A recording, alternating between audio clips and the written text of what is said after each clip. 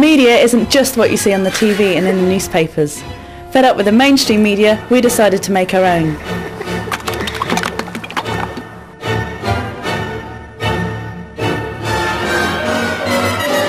Thousands of people commute to work along this road every day. We thought we'd deliver our message directly to them.